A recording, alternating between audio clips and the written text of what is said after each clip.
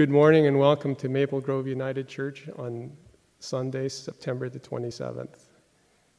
My name is Bruce Tanaka and I'll be, I'll be leading the worship this, this week.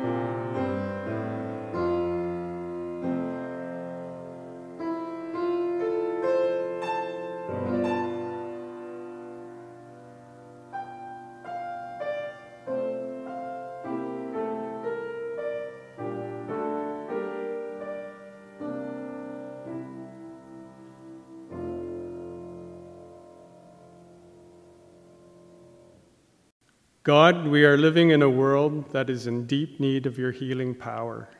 As we strive to be your hands and feet in a world which is staggering from hurt, pain, loss of life, loss of home, tiredness, and weakness, we need you to hold us up when we have such little strength. You know more than anyone that our bodies look like right now at this moment. You know the pain we are going through personally the pain we feel for our neighbors around the world, the pain we feel for our family and friends who we cannot help. You know, God, what we are going through, and so we ask that as we do your work to show compassion, to reveal love, to help our neighbors, that you will also help us as we need to be filled with your peace, just as we reveal your peace to others. Amen. God, all of who wander in the wilderness, you go before us as beacon as a beacon and guide. Lead us through all danger, sustain us through all desolation, and bring us home to the land you have prepared for us. Amen. The opening hymn is Voices United, number 213, Rejoice the Lord is King.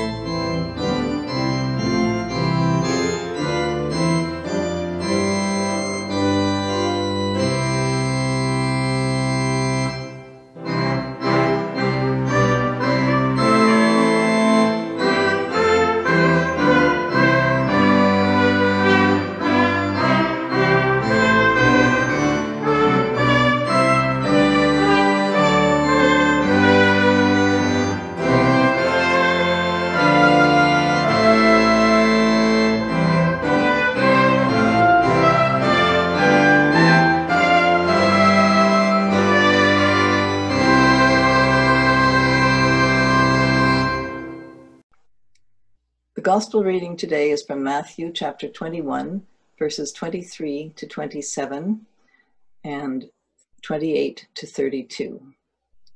Reading first the authority of Jesus questioned. When he entered the temple, the chief priests and the elders of the people came to him as he was teaching and said, By what authority are you doing these things?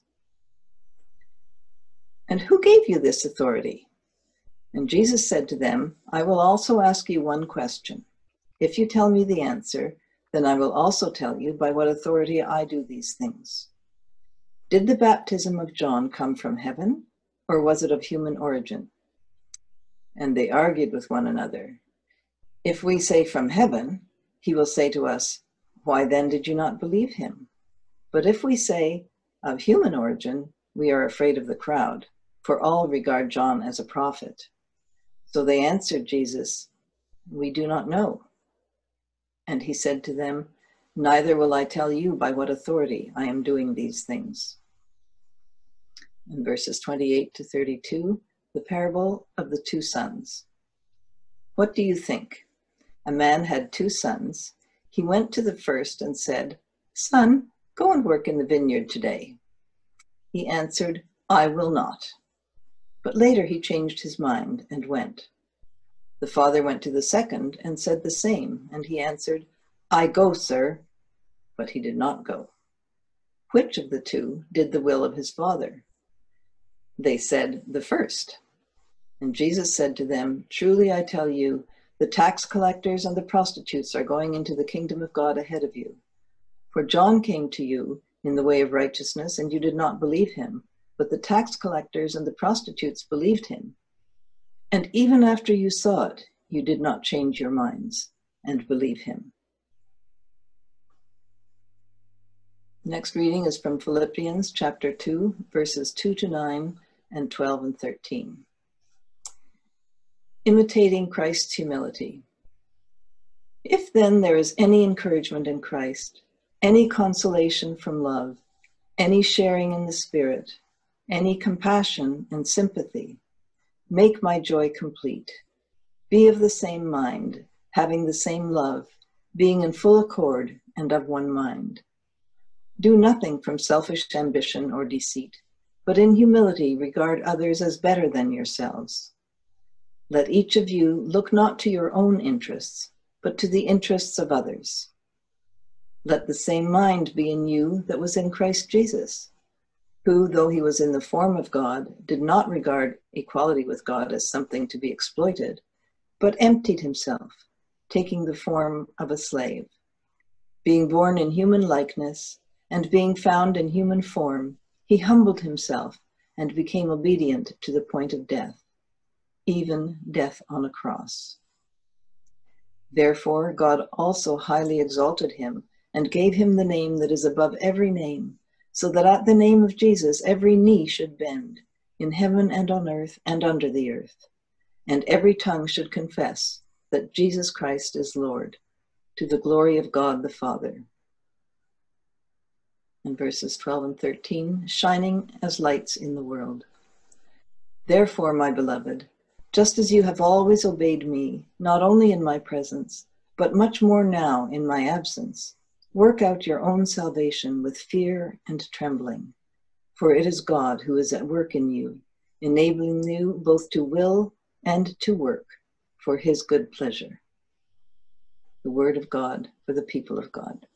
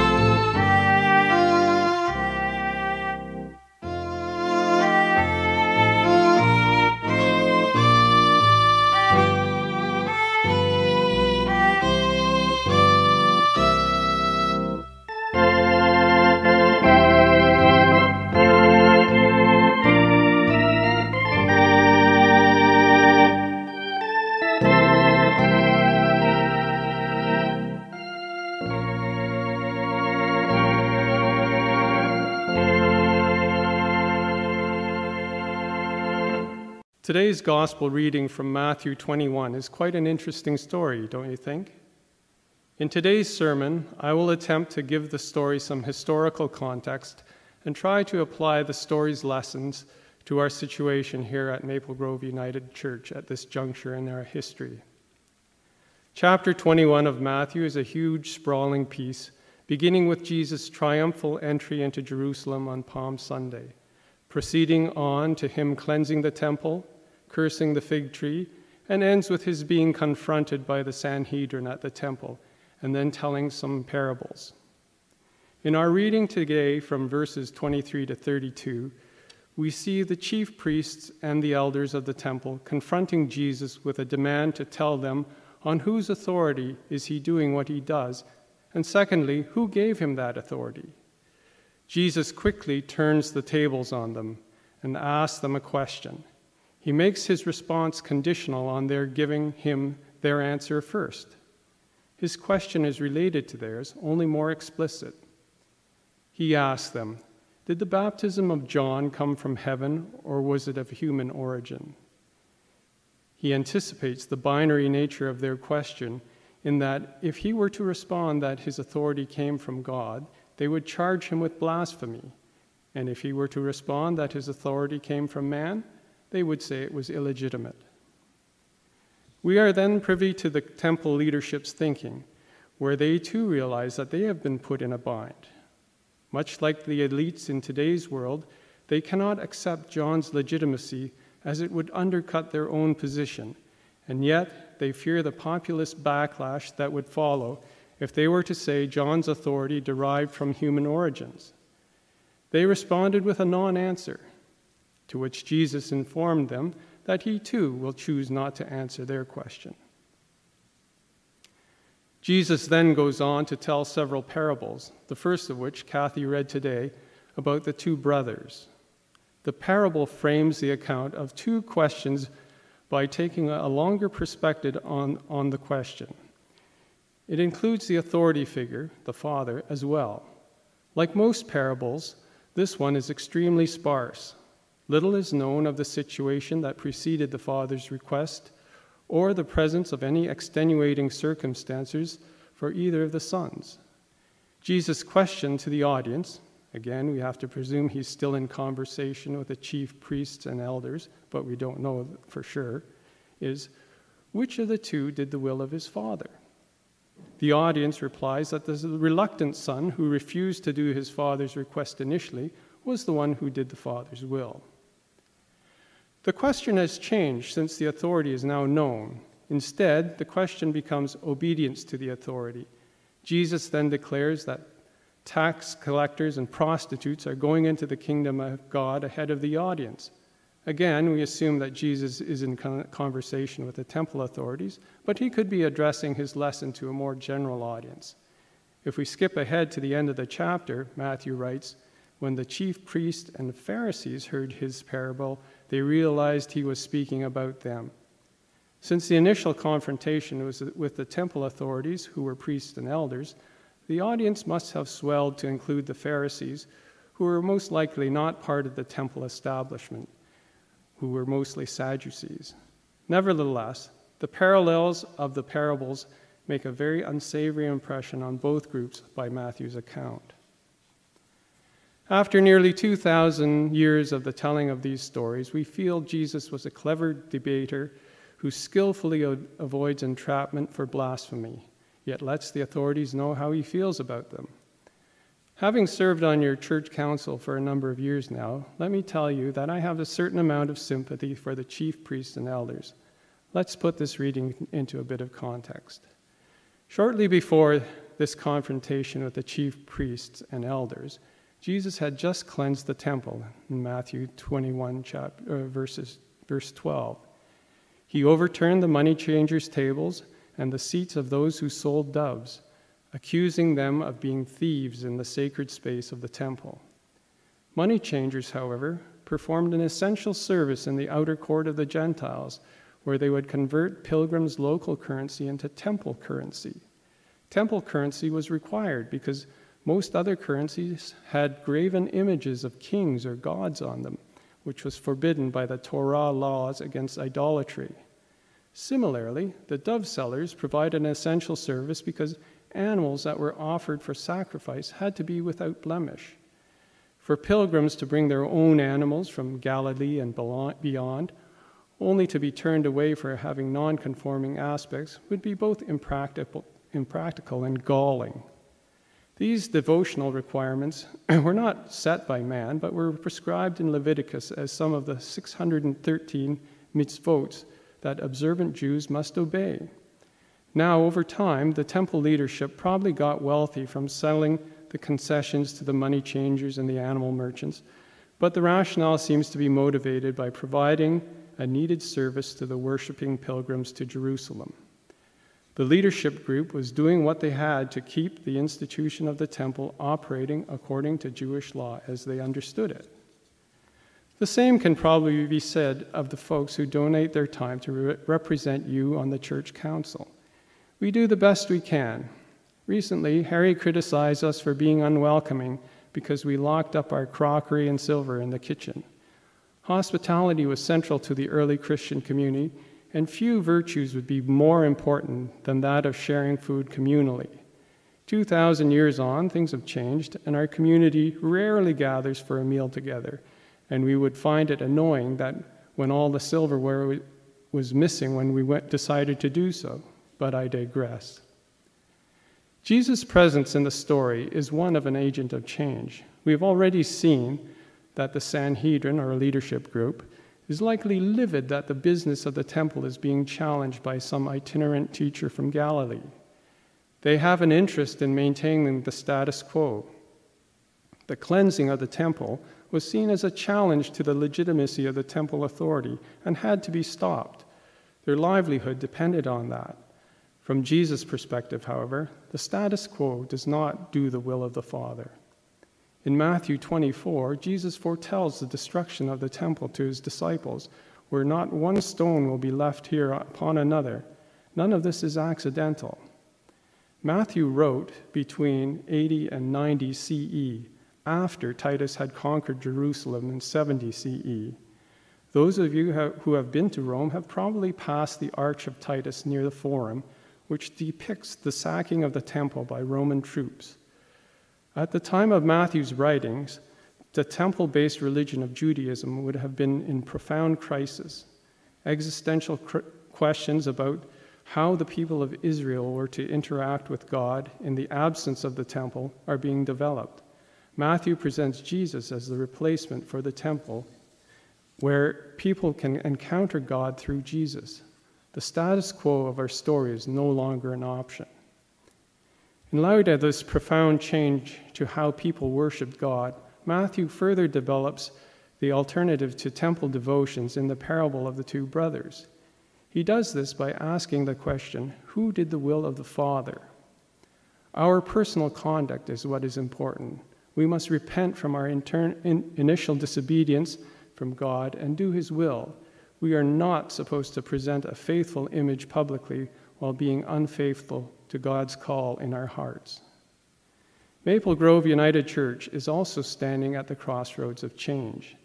After our first 65 years as a worshiping community, we too are stepping into an unknown future. We have had the past two years to think about the changes as we transition from a very stable neighborhood community to a smaller destination community of faith. We acknowledge the rapid societal changes brought about by the increasing secularism that sees one United Church congregation close every week of the year in Canada. When our, when our family transferred our membership here to Maple Grove in 1998, I was impressed with the programming at the church compared from where we had come from. There were large Sunday school classes, active youth groups, and a full sanctuary on most Sundays. I attended some extravagant gala fundraisers in the late 90s where the attendees looked like they had just decamped from the Granite Club. In the intervening 22 years, the membership has slowly dwindled along with the programming.